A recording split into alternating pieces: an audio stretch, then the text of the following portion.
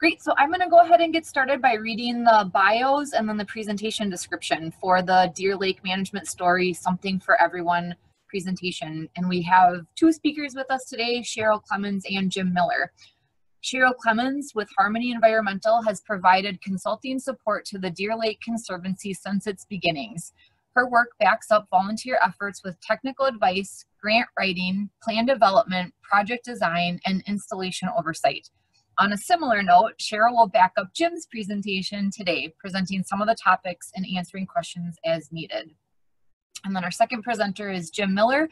Jim Miller has managed Deer Lake Conservancy water quality projects as a volunteer since the organization formed in 1995. The organization's most notable achievement is significant improvement in lake water quality following installation of extensive water quality practices. For this achievement, the organization received national recognition in 2015 from the North American Lake Management Society as a lake management success story. The Deer Lake story includes descriptions of organizational structure, partnerships, fundraising, installation of water quality best management practices on large and small scales, conservation easement and land purchases and donations, trail development, maintenance, and more, the Conservancy is currently updating their lake management plan. While your organization may not have the resources to take on all of these activities, there's certainly something that you can learn from the Deer Lake story and use to help your own lake. And with that, I'll turn it over to Cheryl and Jim. I'm excited to be moderating for them because they are in my county, in Polk County.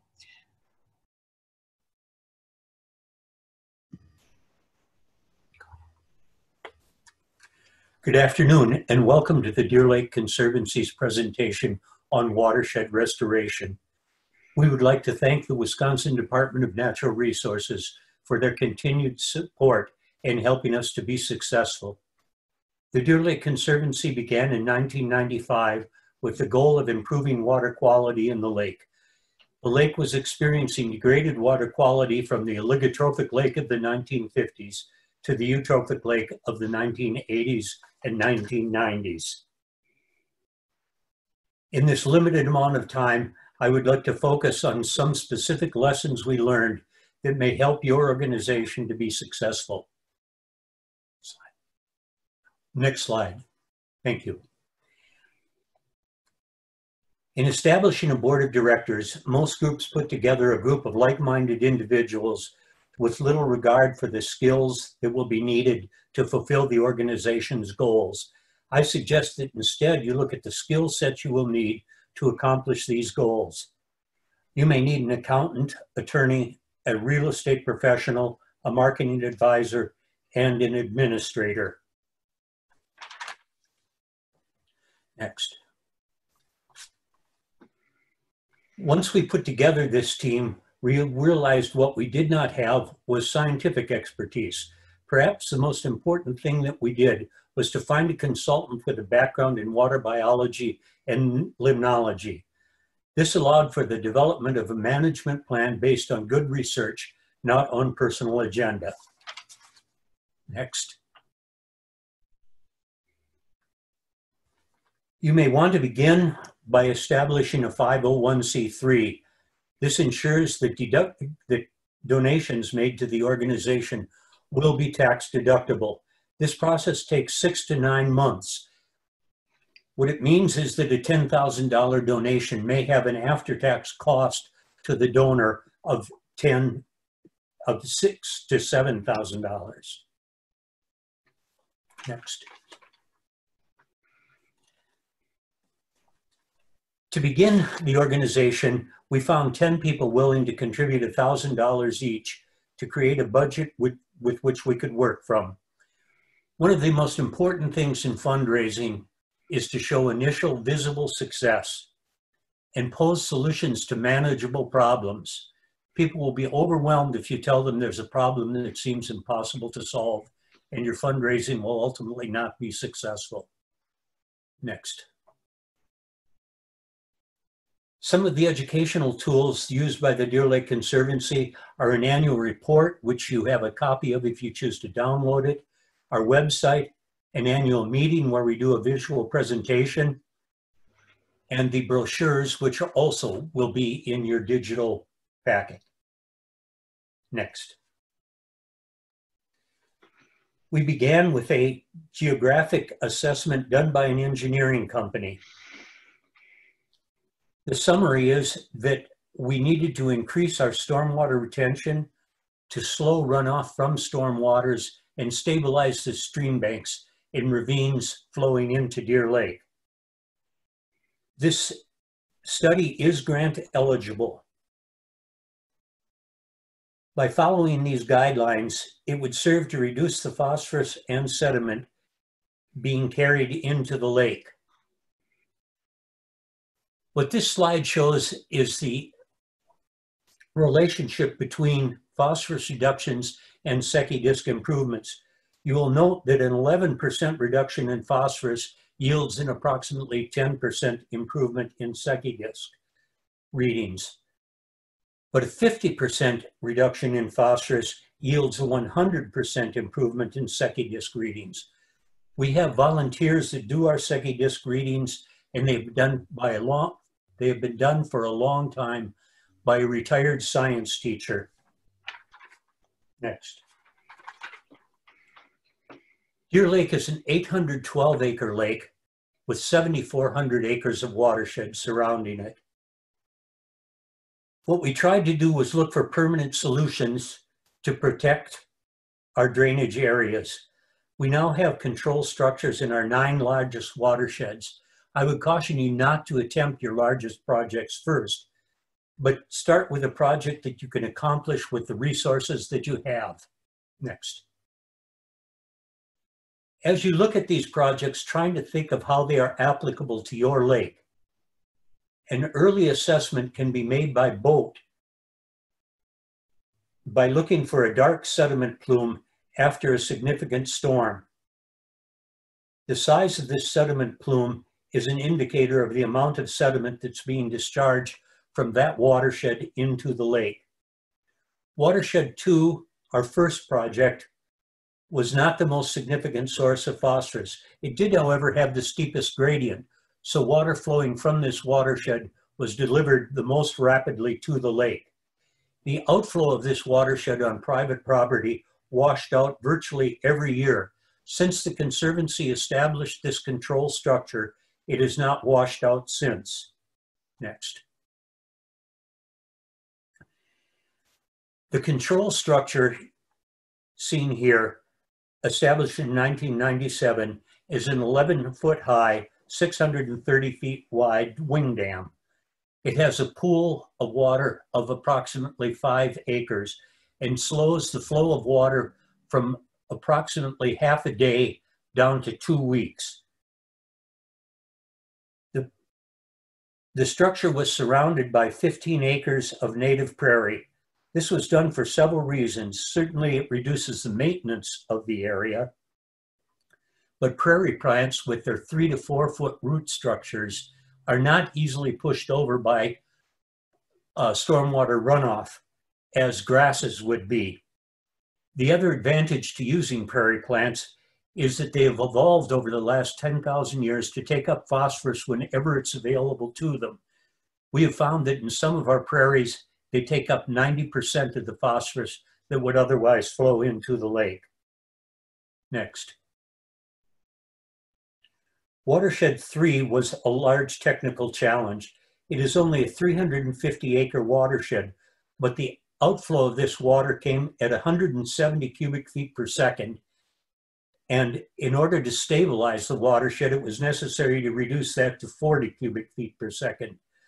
Two dams were established the north and south dams. The south dam I'll say a little bit about because it's an 18 foot high dam.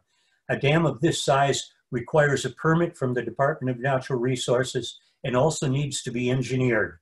It takes approximately one year for that process of engineering and approval to take place.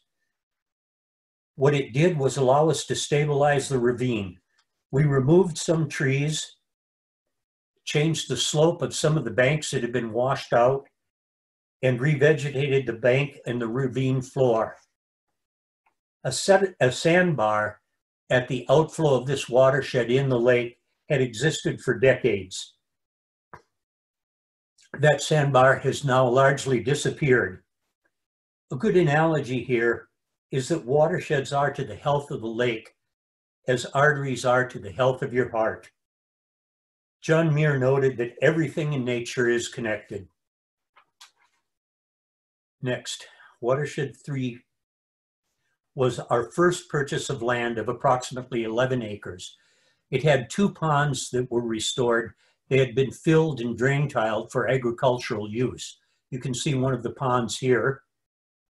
We also removed 21 four-axle dump truck loads of tires that had been dumped into this ravine years ago. They were taken to recycling in Barron County. Next. In establishing this conservation area, it resulted in the surrounding land being taken out of agricultural use and put into low density residential use. This pond is behind the South Dam. Next. Watershed 4 was our largest watershed. It is approximately 2,300 acres, 1,500 acres of which are row cropped, and they all drain through this parcel.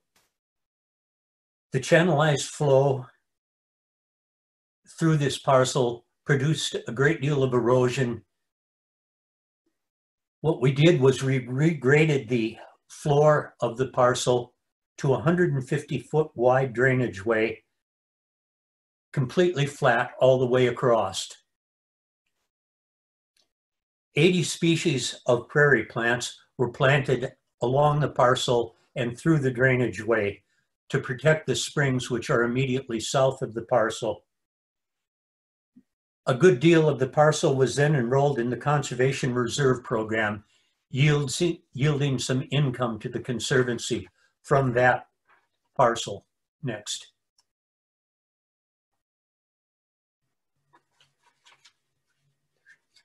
Uh, this is the prairie that was replanted uh, in uh, 1998 to slow the water coming from those agricultural fields. Next. Immediately south of this prairie was Rock Creek, the largest source of spring water, off lake spring water flowing into Deer Lake. The agricultural damage from sediment and phosphorus had turned this creek into a green sludge. The creek has now been cleared for years. Um, at this point, I'd like to recommend, thank you, I'm going to take a drink of water. At this point, I'd like to recommend the documentary done by Robert Redford called The Unforeseen. Um, it's an analogous but much larger situation in Austin, Texas. Uh, it is available on Netflix through their library service. Next. The Flagstead Farm was the largest project undertaken by the Deer Lake Conservancy. It was a $500,000 project. This is not a project we could have even contemplated at the beginning of the organization, but by building the capacity uh, of the organization to undertake these projects, we were able to accomplish this. This is located on the south side of Deer Lake, immediately adjacent to US Highway 8. It is open for tours, there is signage and there are brochures available. There is something in bloom throughout the growing season. Next. The Flagstead farm delivered a great deal of phosphorus to Deer Lake, as well as highway drainage containing road salt. Any of you who were able to attend last year's North American Lake Management Society conference, uh, there were a number of seminars presented on the damaging effects of road salt on freshwater water bodies. Next. The Flagstead farm was planted, planted with 100 species of local ecotype prairie plants. It is the largest local ecotype prairie restoration in the state of Wisconsin. For, for this, we received help from the Department of Natural Resources as well as the Science Museum of Minnesota, which contributed some rare prairie plants. The sign technology now allows us to communicate a great deal of information. This was not an option at the beginning of the Deer Lake Conservancy. These signs explain why and how these projects benefit the lake. Next.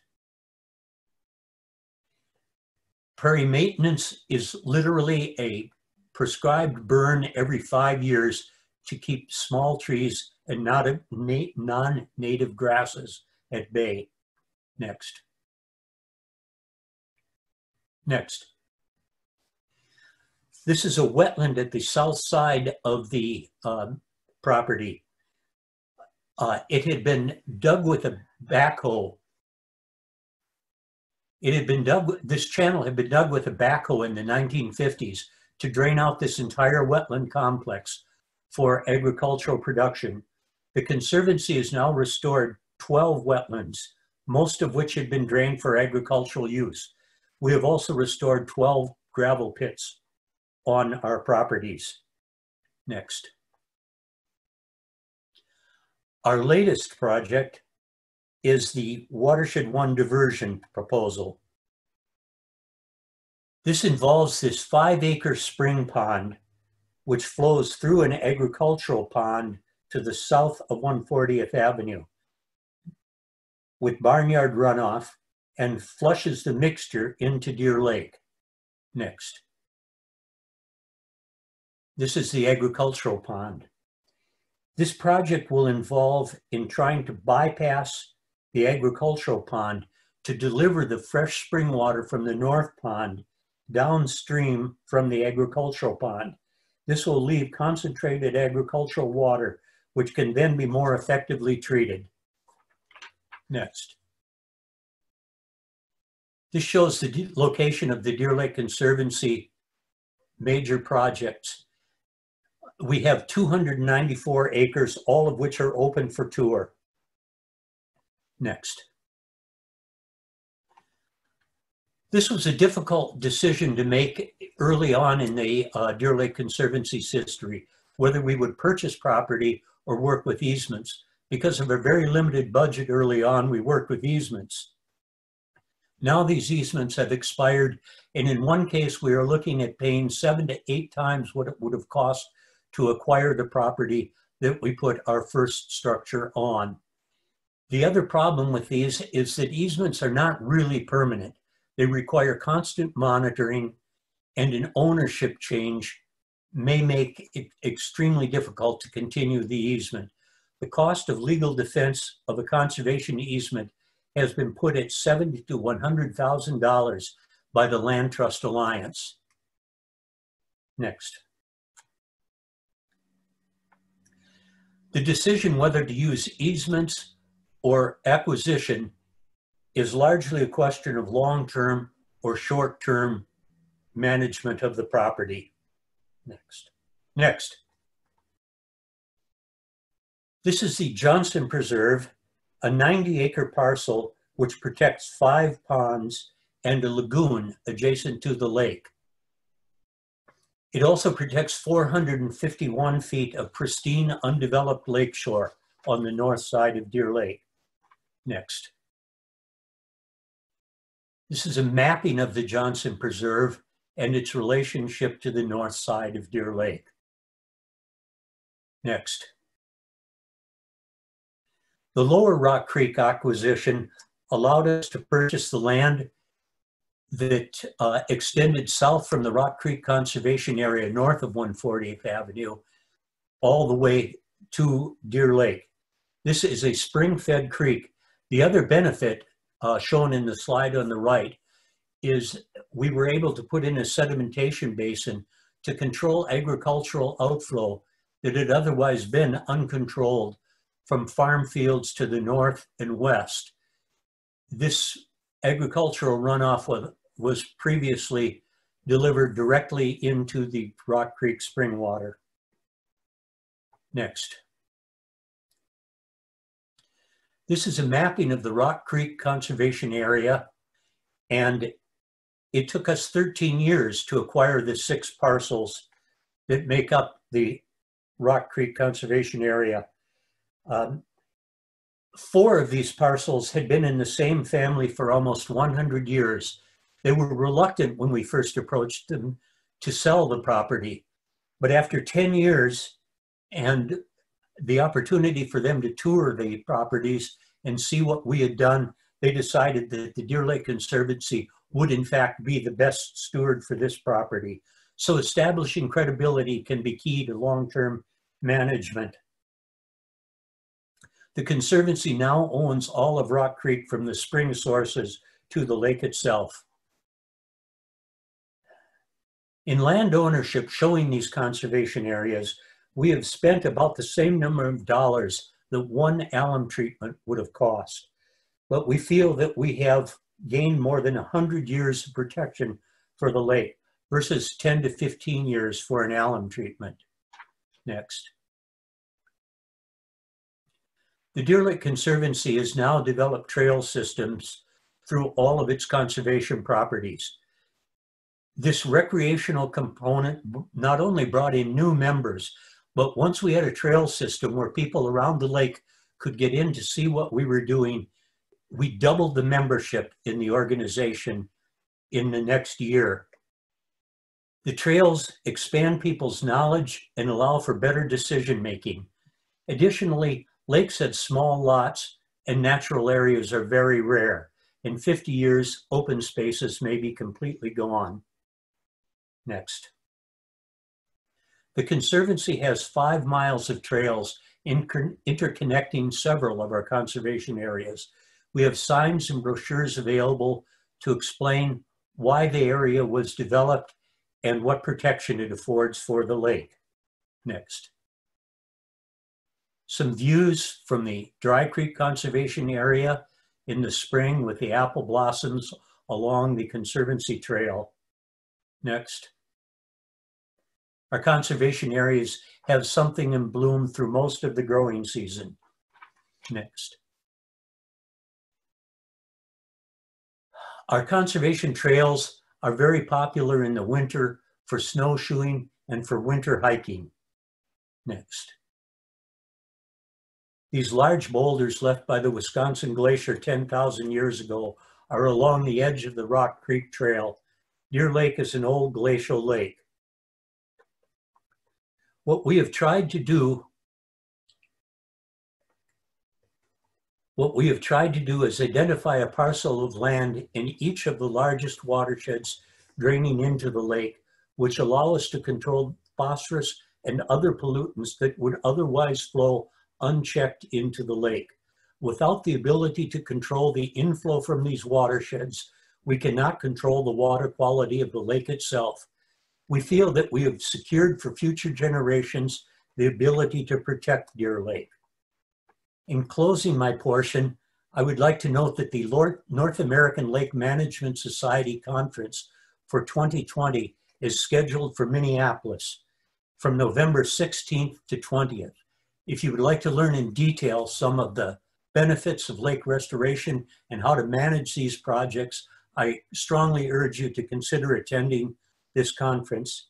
I'm now going to turn the presentation over to Cheryl Clemens of Harmony Environmental, who more than any other person is responsible for the success of the Deer Lake Conservancy. Thank you for your time. Thank you, Jim, and I'm not sure I, I um, deserve that compliment. Um, I just want to say hello to everybody first. I see some familiar faces on the list and I wish I could be there to see you in person. I'm going to focus a bit on what we call our direct drainage project with um, the larger watershed projects addressed, those that Jim has had discussed. In 2008, the Deer Lake Conservancy moved on to focusing on more um, the smaller projects that were closer to the lake. So we addressed some of what we call medium-sized projects, and now we're calling them neighborhood projects, um, many, many of which had gullies that were forming and eroding into the lake, and then working with individual waterfront property owners and addressing backlot development as well. So what we provided in that, what we provided and still provide in that direct drainage project is free technical assistance to landowner, landowners, which um, starts with a site visit with the landowner And then if a project is identified, we move on to financial assistance. Um, this was um, a kind of, it had a slow start back in 2008. We, we had difficulty um, getting people to understand what we were trying to do and take on projects. But we've really picked up steam as we, as we go along. Um, we've really been able to get landowners engaged in understanding concerns related to runoff and the nutrients that runoff carries to the lake um, and have them help help us identify concerns and also identify um, solutions. The technical assistance to homeowners is free and the cost sharing um, is 75% for the larger neighborhood size projects and 50% for the waterfront projects, all supported by grants, um, lake protection grants from the Department of Natural Resources. Next slide. So the concepts for managing runoff on waterfront property are the very same concepts that we use on the larger projects. The first is to try to minimize hard surfaces, those impervious surfaces that lead to more runoff going to the lake. Vegetation, there you can see those deep roots of the prairie grasses that Jim was talking about. And then finally, diverting water so that we can direct it to infiltration areas such as rain gardens. Um, I think the one thing about this, this um, these concepts that we shared with waterfront owners to understand their issues and potential solutions has also helped them understand the larger, the larger projects and be even more supportive of the larger projects.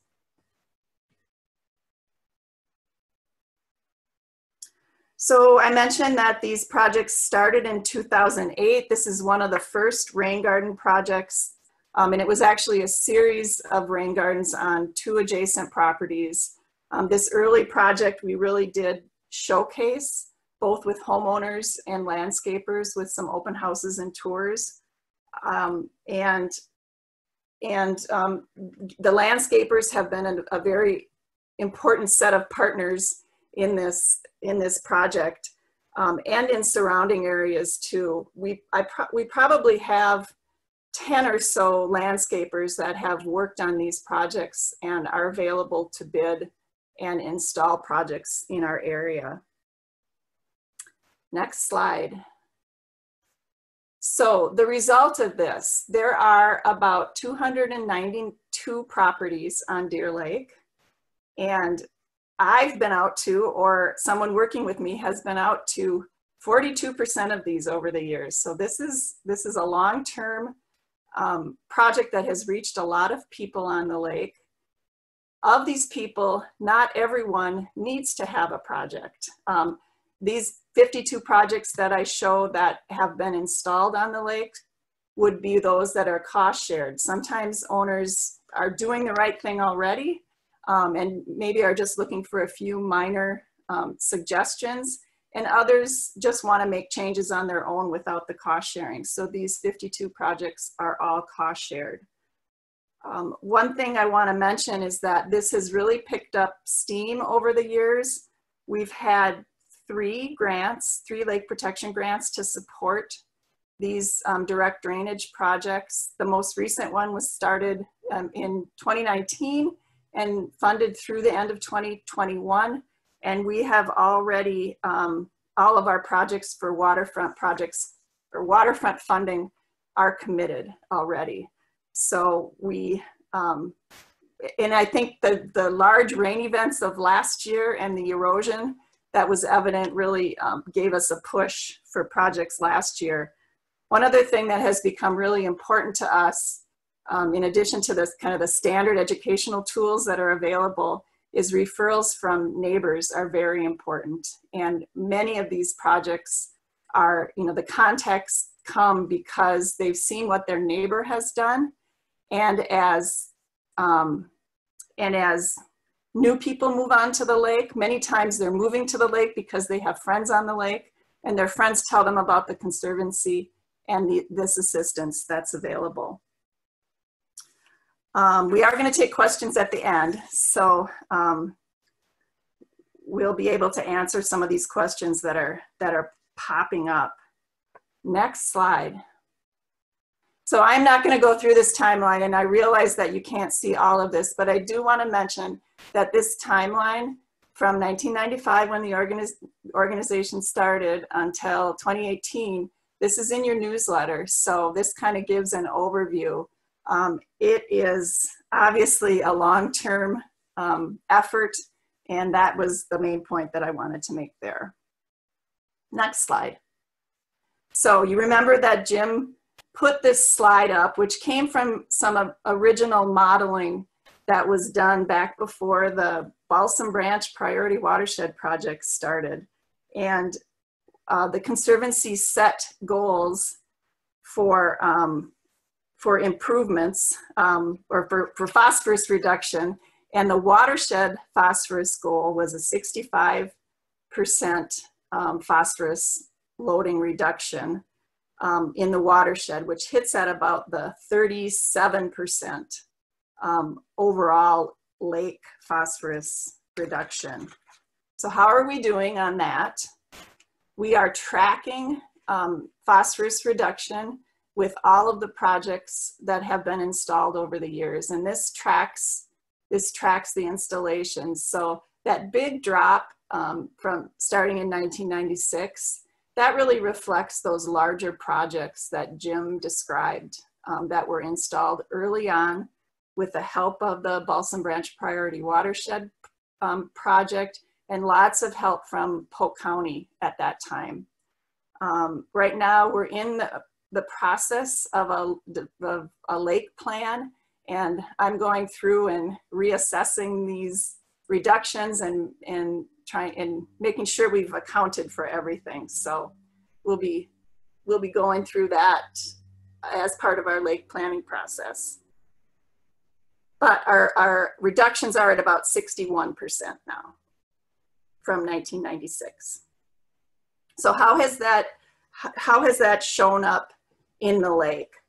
This chart shows July and August average Secchi depths um, starting in, now I can't even read that, 1985 or 1987 when the Secchi depth reading started to um, 2018. And it bounces around like it does in most lakes. Um, re recall that the Conservancy work started around 1995 and what I want to give you is an average by decade. So from 1990 to 1999, the average Secchi depth was 10 feet. From 2000 to 2009, it was 11. And then from 2010 to 2019, that average is 17 feet. So it took a while for the, the in-lake response the residence time of Deer Lake is just under five years for the water to, to enter and leave the lake. Um, and it took a while for us to see results in the lake, but this is, this is a quite striking result that the Deer Lake Conservancy and people around the lake are quite proud of. Next, um, we are working on the management plan um, and no, this didn't happen because of zebra mussels. The zebra mussels, there are zebra mussels in the lake. There have been four zebra mussels that have been seen since, or four incidences of zebra mussels that have been seen since they were found in 2016. Um, we're working on a management plan update right now and are right in the middle of it, um, kind of in the information gathering stage with a questionnaire to the board. We're, we're completing a property owner survey right now. That survey is being done online through SurveyMonkey. And as of, in, in the, it's actually finishing up today. I did not get a tally for today, but as of Monday, we had a 55% return rate um, on our online survey. We're reviewing our strategic plan from 2010 and have updated a progress report. So all the information that's going to go into as into as background information for the lake management plan. We'll be looking at updating land acquisition priorities. So the land acquisition, as Jim mentioned, takes a long time and the organization really needs to be ready, um, ready for a sale with a reserve fund for one thing, and also to really understand which properties are the most important for acquisition. And the, and the critical um, aspect is the ability to install conservation practices. So like any other plan, we'll be going through reviewing progress um, and, and goals that we had set out, how well we're achieving those, and then set forward um, actions into the future. Um, one of the key things that we're doing is developing, uh, I say it's key, I'm working on it right now, is developing an operation and maintenance manual. Um, waterfront property owners are responsible for maintaining the practices that are installed on individual properties and they sign agreements to maintain those um, for 10 years. So that's many, those 50 some properties are maintained um, by the homeowners themselves. The larger properties are maintained by the Deer Lake Conservancy and Jim has done most of that maintenance himself.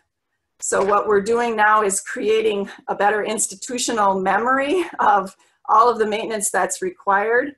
And hopefully some of that can be delegated and also passed on to new um, individuals as we go forward in the organization. So we'll have that history.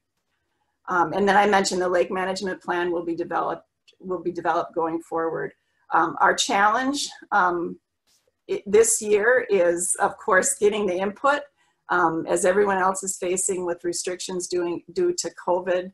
Um, we have not had any in-person meetings and we'll be, we'll be looking for effective ways to involve the board and lake residents beyond the questionnaire and the survey going forward. Next. And the partners in this organization, I have a list here and I know that I'm going to forget some people, but, or organizations. Um, Polk County Land and Water Resources um, has been, was really critical, especially in the beginning. The support from the DNR has also been really critical through planning grants, um, lake protection grants, the support that was provided to the um, priority watershed program, and you know helping us design our programs next. And then there's a long list of other other um, organizations um, and people within those organizations that have have helped out. Um, I looked at this list and I noticed I'm of course missing several, including University of Wisconsin Extension. Um, the Landmark Conservancy now holds an easement on one of the pieces of property, the Johnson Preserve, um, that was donated or, or that was sold um, to the Deer Lake Conservancy. Um, so thanks to all of those. And I want to close with that and open it up to questions for either Jim or I. Great, thanks Cheryl and Jim. We do have a few questions that came in. I'm probably just gonna go down the line and read through them. Um, so our first question was from Kevin, and he said, if you don't mind, uh, if you could talk about the total dollars spent to date on all the projects. If you, I don't know if you have an estimate on kind of the cost of all of the different projects over the years.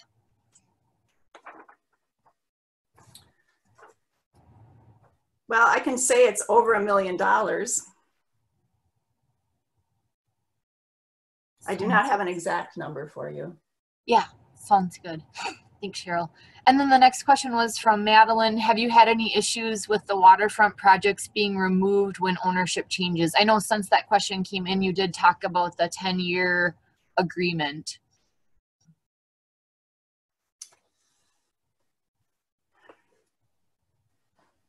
Um, I can't think of any off the top of my head, but yes, that is absolutely a concern.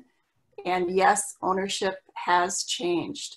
Um, in going over the agreements that we have, the cost share agreements for some of our medium scale projects, um, there have there has been some owner ownership changes and we'll set up meetings with the new owners and talk with them about the importance of the projects on their on their land. Um, so i can't think of instances where i know that new ownership has resulted in removal of practices. And this parenthetically is the reason that the conservancy decided to go with land acquisition instead of easements. Because as soon as a property changes hands, it is going to be difficult if the new owner is not invested or at least supportive of the goal of the uh, Deer Lake Conservancy. By controlling the property, we are able to continue. We have some continuity of use. We know that these projects that the Conservancy has installed will be there as long as the Conservancy exists. Great, thanks you guys. And then we had uh, Eric was I think kind of answering that question, but just to clarify from from Jim and Cheryl that all of these different projects or which of these projects can be cost shared with the lake plan implementation grants from DNR. That would include some of the bigger, I love that you call them neighborhood projects. I think that's a, a great name for them. And then the individual projects, those are, are both eligible, correct? They are both eligible, yeah. Right now, there is no grant for any of the large, we don't have a large scale projects. We'll be seeking grant funding assistance for that watershed one diversion that Jim mentioned. Um, we'll be, we're just starting the design phase of that right now. But yes, there are, there's lake protection grant funding both for the waterfront projects, which I mentioned is all committed. And then we do have money available for the neighborhood projects.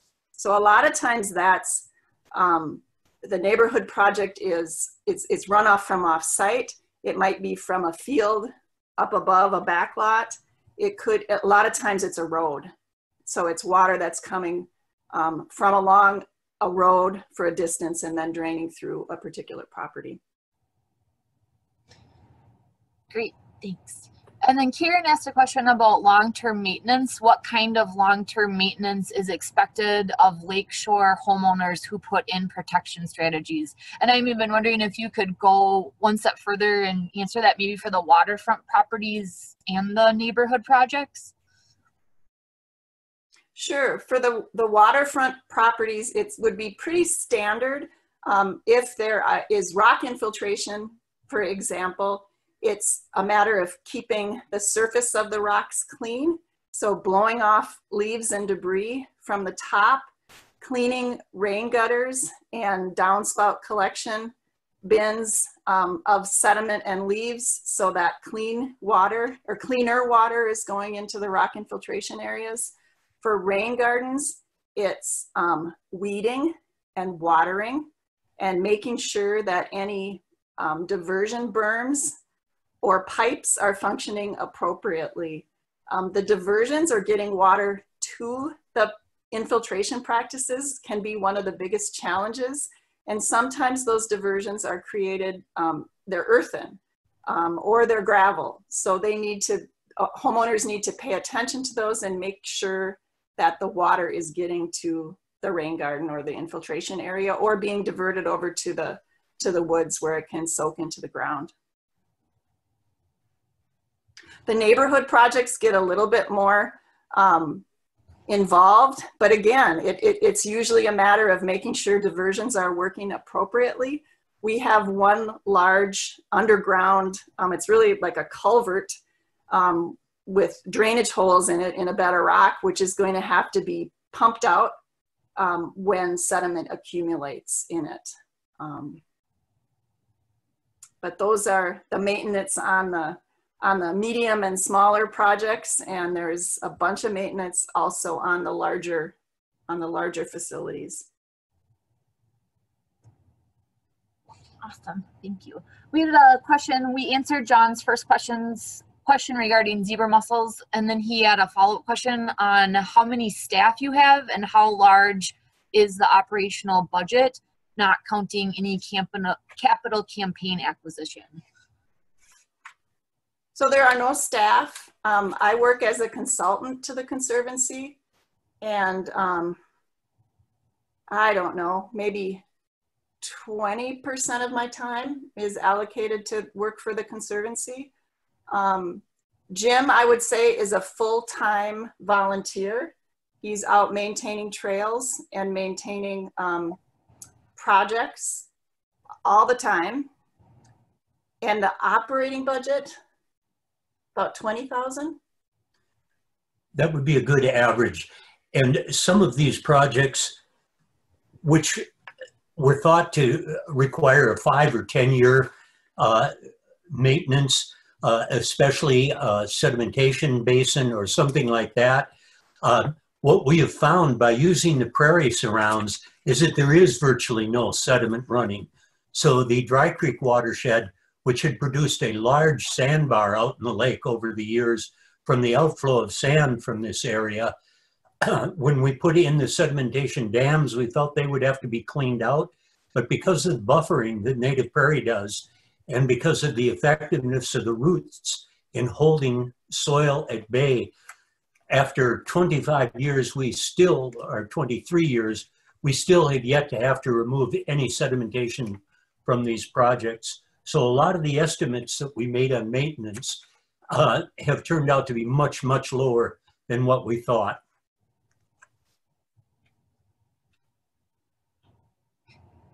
Great, thank you. And then we have one more question in the chat. So we do have more time. So if there are folks who have questions, feel free to keep typing those in. But we have a question from Eric. How has lake level changed over time? Is there any relationship to Secchi depth that might be related to the lake level change? That's a good question. The lake level is um, quite stable on Deer Lake. There is a um, small dam. It, just holds two feet of water back um, there, and that holds the water level quite consistent. Um, I don't know, Jim can probably comment on that better than I because he's there all the time, but. That dam was installed in 1939 and the lake level has been very stable since. Um, in a drought year like 1987 or 1988, the lake level did drop a little bit. Um, but there is not much fluctuation in lake level at Deer Lake. So I think that has little or no effect on Secchi disc. What we have found that has affected the Secchi disc is the removal of more than 60% of the watershed phosphorus, not to mention the effect of people behaving better with their direct drainage projects. The perimeter uh, homes around the lake are much more careful about what's running into the lake. The other interesting effect of the whole process has been uh, Deer Lake is a spring-fed lake, both internally and externally. You saw in both Rock Creek and in Watershed 1, our two largest sources of external spring water coming into the lake. But as we infiltrate with basins, uh, more and more stormwater runoff, that has served as a recharge for the in-lake springs. Uh, so we're finding that springs, for example, that were quite strong in the lake in the 1950s and virtually disappeared by the late 1970s are beginning to flow. Uh, that upwelling of water is consistent uh, and uh, these infiltration, large, especially large infiltration areas, have resulted in a significant improvement in the quality of spring water being delivered to the lake itself.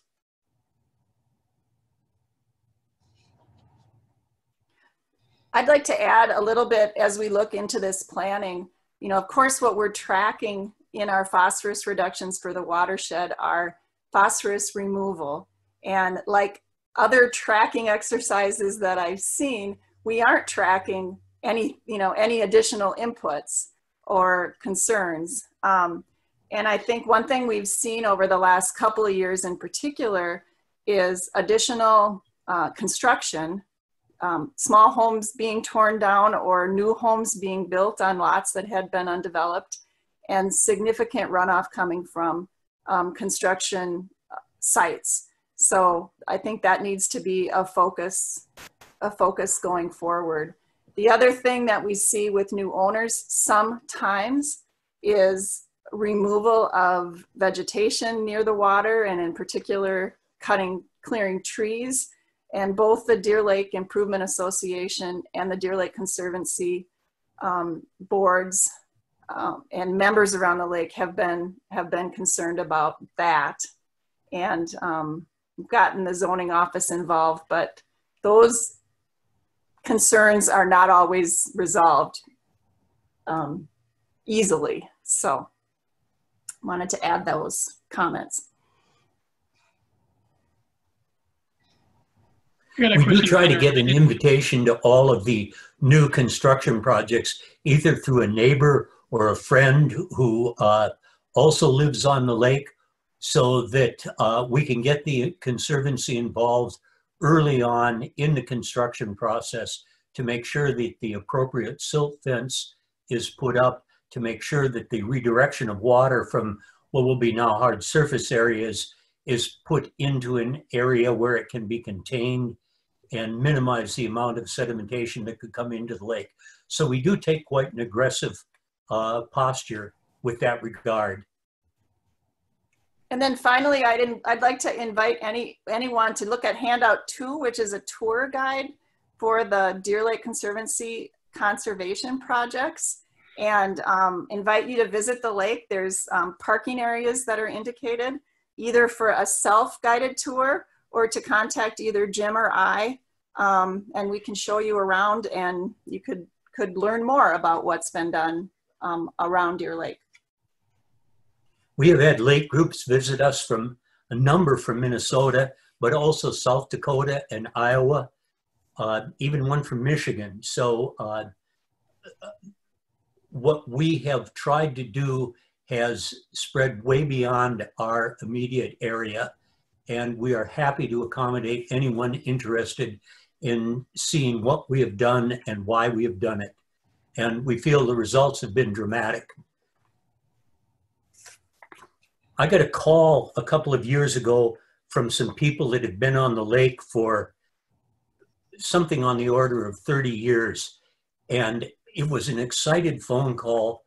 Uh, and for the first time since they had been on their lake, on our lake, the um, swim raft that they have in approximately 25 feet of water.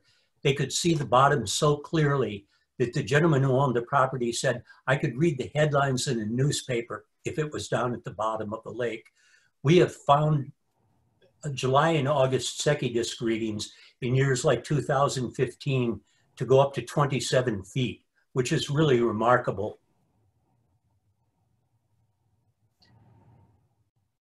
Great. I'm just wondering, Cheryl or Jim, if the best way for folks to contact you. I mean, I've got your contact info, but could you even just type in the chat if there are folks who wanted to get in touch and maybe schedule something like a tour, then they would know the best way to get in touch with you.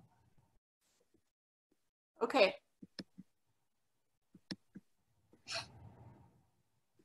Great.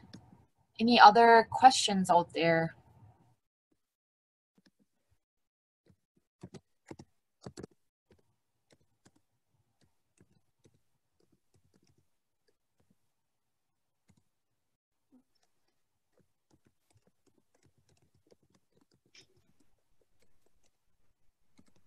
This is Eric. I have a question. I think that's kind of maybe calls on both of you, Cheryl and Jim, to reflect on. But um, do you get a sense? You mentioned properties being sold and kind of changes in the neighborhood. Do you get a sense that people kind of moving into the region or buying uh, second homes in the region that they actually uh, that they are drawn to your lake because of the accomplishments you've had, not just the water quality, but also sort of the landscape preservation and the, and the uh, recreational amenities? Are you creating something that's actually distinguishing this lake and its surroundings from other lakes in western Wisconsin? Very much so, Eric. Um, I can't guess the number of people that uh, have told me that they purchased property on Deer Lake. Some of them being called the Deer Lake Conservancy to find out if we could refer them to properties that might be uh, for sale. And it's because of the water quality. They've heard from friends or neighbors or read something about the Deer Lake Conservancy. Uh, we were covered in the Wisconsin Natural Resources magazine, and after that, we got a number of inquiries. But people very much who are concerned about water quality would like to be on Deer Lake because the water quality is improving. I think that graph that Cheryl showed about Secchi disk readings is particularly interesting because if you extrapolate the decline in water quality, uh, had the Deer Lake Conservancy not existed, it's hard to say where we would be right now. The other thing that we found is that the uh, value of properties around Deer Lake has dramatically increased.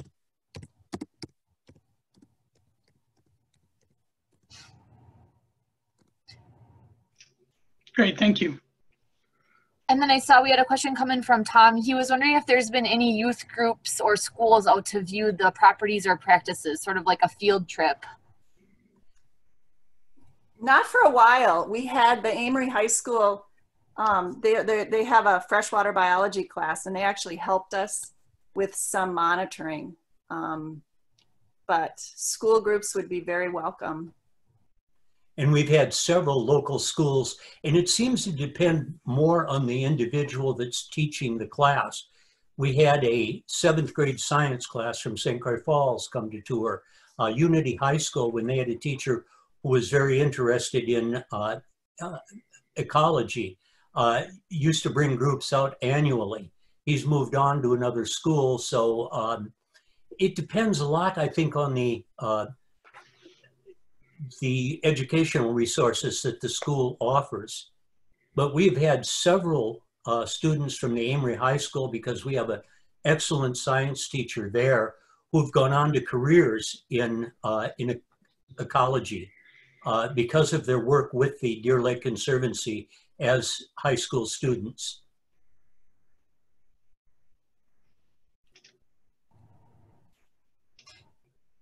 Thanks, Jim. And I did post the contact information for Cheryl, so she.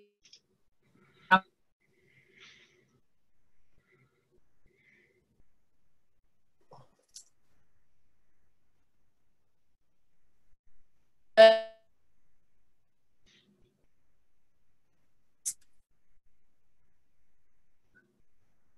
then also I wanted to thank uh,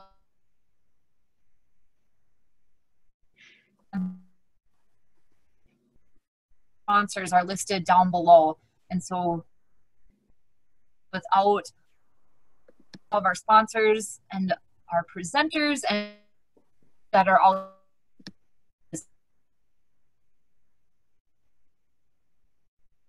and I'm not sure if uh, anyone else is having the troubles with Caitlin's mic. Uh, it might just be